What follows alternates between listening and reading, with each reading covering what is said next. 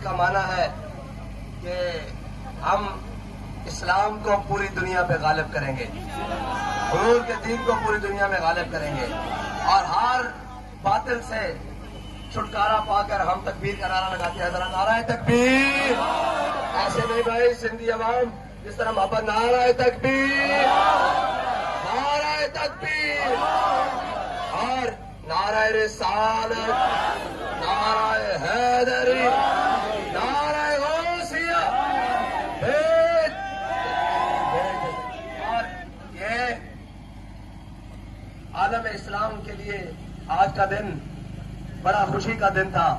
जब मोहसिन पाकिस्तान जैगम इस्लाम, हज़रत डॉक्टर अब्दुल कदीर खान साहब ने पाकिस्तान को एटमी कुत से नवाजा था। लेकिन इन बदमाशों को, इन अयारों को, इन कुमाशों को ये याद नहीं कि पाकिस्तान हमने ला मोहम्मद रसुल्ला के लिए बनाया था। और इस पाकिस्तान को बनाते वक्त हमारे बड़ों ने यह ऐलान किया था कि हम पाकिस्तान को इस्लामी फलाही रियासत बनाएँगे और इसको आलम इस्लाम की इब्तदा के लिए आलम इस्लाम की इमामत के लिए बनाएँगे, लेकिन इन्होंने पाकिस्तान को अपनी अयाशियों के लिए बना लिया। किसी ने जाति उमरा के लिए पाकिस्तान को बना लिया, किसी ने बनी गाला के लिए बना लिया, किसी ने बिलावल हाउस के लिए बना लिया।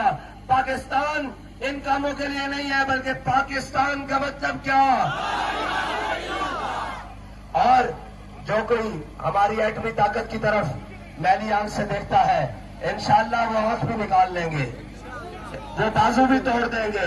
हाँ बाबा जी कहते थे, शाहीन चलाने के लिए गैरत अब्दाली वाली चाहिए। गौरी चलाने के लिए हिम्मत भी गौरी वाली चाहिए।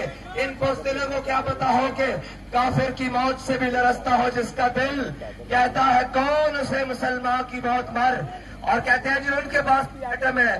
मैंने कहा, उनके पास एक हज़ार भी रहे। हमें गम नहीं है। हमें गम नहीं है, इसलिए कि इकबाल कहता है कब्जे में ये तलवार भी आ जाए?